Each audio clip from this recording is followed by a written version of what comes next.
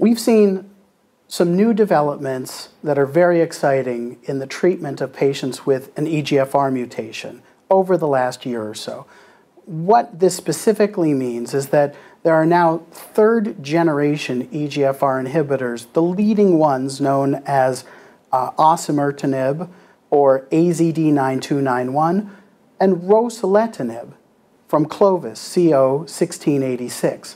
And these agents are expected to be approved by the FDA very soon, but specifically as a treatment for patients who have developed what's called acquired resistance after prior therapy with a different EGFR inhibitor, an agent like gefitinib, also known as Iressa, uh, erlotinib, also known as Tarceva, or uh, afatinib, also known as Gilotrif or Giotrif, depending on where in the world you live.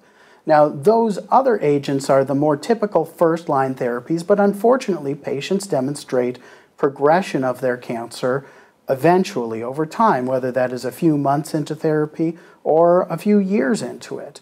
So these other therapies, known as osimertinib and rociletinib, and others are being developed as well, but earlier in, in trials, uh, are clearly active in patients who have uh, a T790M mutation, a specific mutation associated with progression that is seen in about 50 or 60% of patients when their cancer progresses. The question now is whether these agents that are active as second line therapy are especially active when given in the first line setting. And so there are trials that are specifically comparing these newer agents to the older agents but given as a first line treatment. One of them is known as FLAURA, or uh, first line AURA. AURA is the name of the series of studies that look at uh, the AZD drug osimertinib uh, in various settings. And this first line study directly compares uh, osimertinib to either Iressa or Tarceva, given as a first line therapy, to patients who have an EGFR mutation, an activating EGFR mutation.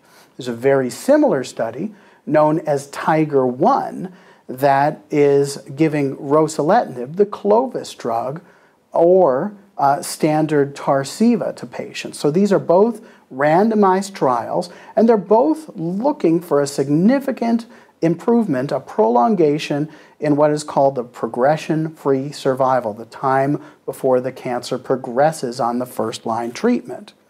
Now, it's important, though, to clarify that seeing a difference in the time to progression may not be the most important factor. At the end of the day, we want our patients to live as long as possible. And I think of this as a distance race with many laps. And so it is not necessarily best to just get the fastest time in the first lap. We want people to uh, be able to have something left in the tank for later on in the race.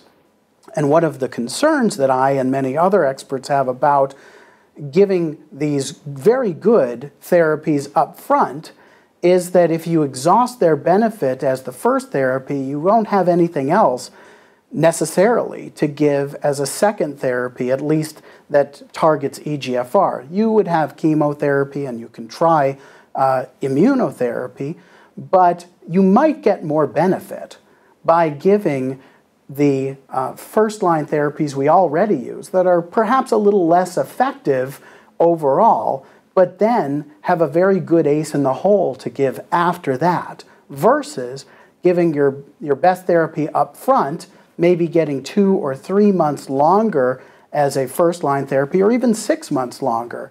But if you'd end up doing better by giving uh, a less effective first line therapy and then a more effective second line therapy, that total time could be more than the overall benefit of just getting a good first line therapy and then having no other EGFR therapy to turn to.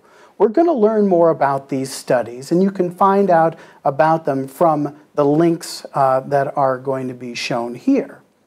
So I would encourage you, if you are just diagnosed with an EGFR mutation positive lung cancer, to look into one of these trials. We don't know the answer to the question of which is better, which is why we're asking the question. We will know more soon.